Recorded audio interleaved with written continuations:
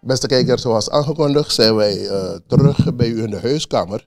We blijven nog even bij, uh, zeg maar, uh, een beetje geschiedenis van de STVS. Want toen het gebeuren plaatsvond, met name de brand van de grote studio, was het zo dat de eerste directeur, genaamd Frits Bengel, aangaf dat dit gebeuren een van de dieptepunten was voor de organisatie. Maar tegelijkertijd was het ook een van de hoogste punten van de organisatie. Want op dezelfde dag is in het bijzonder het journaal gewoon doorgegaan alsof er niks aan de hand was.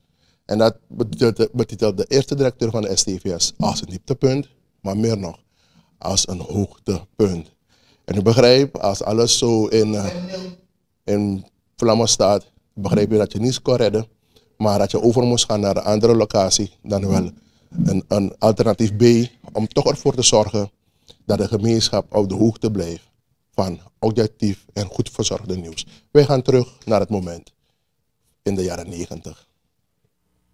Een miljoenenschade als gevolg van het afbranden van studio- en uitzendfaciliteiten voor de STVS. Een groep gewapende mannen kwam het terrein op, mishandelde wachters en technische medewerkers in de studio, hield hen onder schot en besprenkelde controlekamers en studio met diesel en stak deze vervolgens in brand. De eerste directeur, Frits Spengel van de STVS, betitelt dit gebeuren als een dieptepunt, tevens een hoogtepunt voor de organisatie. Ze zeggen over zijn hoogste en zijn diepste punten bij de STVS. En hij reageerde zo. Natuurlijk hebben we bij de STVS dieptepunten gehad. En ik zeg altijd, het is toevallig mijn diepste dieptepunt en mijn hoogste hoogste punt heb ik bij de STV gehad binnen 24 uur. Dat was A. Toen de zaak in de fik werd gestoken. En toen binnen 24 uur na die brand wij gezamenlijk weer de STVS in de lucht hebben gehad. Dus in 24 uur heb ik mijn diepste punt gehad, maar ook mijn hoogste punt. De minister van Binnenlandse Zaken, Bronto Somoharjo, gaf tijdens de viering van 55 jaar STVS aan dat de brandstichting bij de nationale zender een laffe daad is geweest. Elke organisatie ups en downs. Een van de downs was de aanslag die werd gepleegd op het station in de nacht van 10 op 11 mei 1993 waarbij een handjevol onverlaten, een handjevol gemaskerde bewapende mannen de studio binnendrong, het personeel mishandelde en het televisiestation in brand stak. Waarbij deze volledig afbrandde. U heeft het over een gebouw, een nieuw gebouw. Het is al afgebrand. Maar de problemen die u heeft, zal zeker worden opgelost door de president en de vicepresident. Als hun het niet gaan doen, gaat niemand het voor jullie doen. Ik ben ervan overtuigd dat dat gebeurt. Nogmaals, het, het brandde volledig af.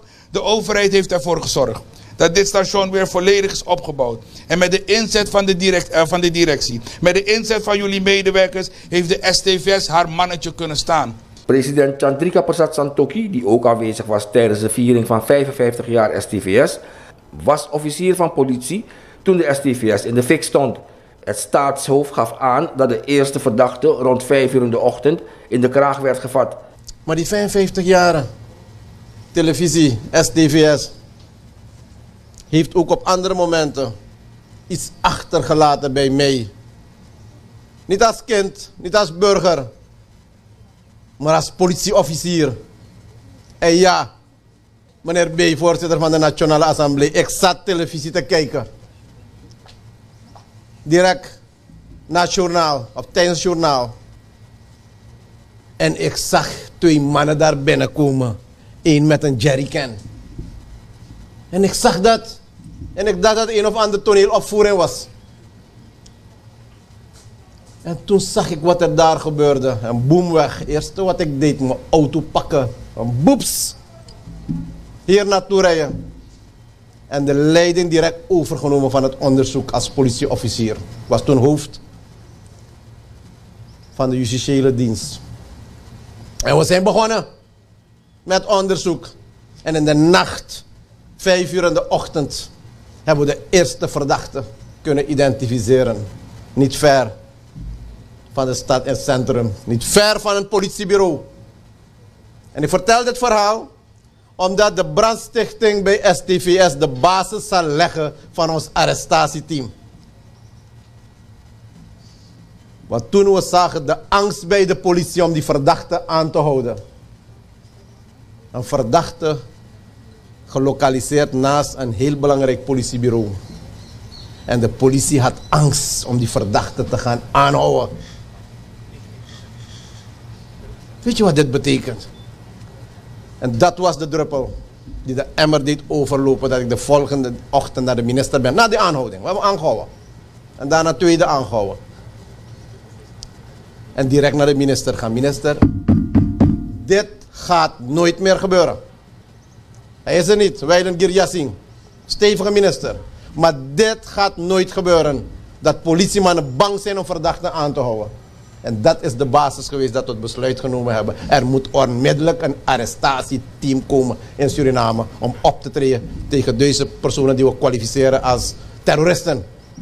Het bedrijf heeft ondanks de vele uitdagingen tot dit moment stand kunnen houden. Een van de grootste uitdagingen waarmee de organisatie te kampen heeft, los van geringe financiële middelen, is een massief gebouw. Directeur Raoul Abisoina van de STVS vroeg tijdens de viering van 55 jaar STVS aan de topbestuurders van het land om hem de nodige ondersteuning te geven om de nationale zender verder tot grotere hoogtes te brengen. Ik wil verder vragen aan de regering, de regering zit hier, voor ondersteun STVS. Nogmaals, ik wil vragen aan de regering, Ugimwa Osso, maar u me rechta Osso in. Te rechta Osso in Gim, dat mi op basis voor Dumi Roko. Usapu aan twee jaar, tien jaar terug, minister, is er een belofte gedaan dat de STVS een nieuw gebouw zou krijgen. President, u krijgt straks een rondleiding, VP. Dan zult u zelf zien onder welke omstandigheden de Surinamers die hier werken hun dagelijkse werkzaamheden moeten verrichten. De directie en het personeel zullen zich altijd blijven inzetten om de gestelde doelen te bereiken. De grondlegger had een doel en wij als nakomelingen, wij moeten dat doel verder helpen stoten zodat Udoro basis.